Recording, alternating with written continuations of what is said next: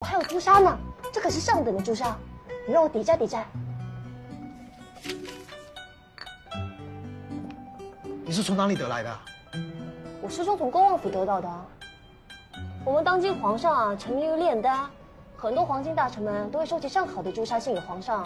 恭王府多的是呢，我这已经不算是顶级的了。哦，不是，他是顶级的。我能不能进来说话呀？等一下，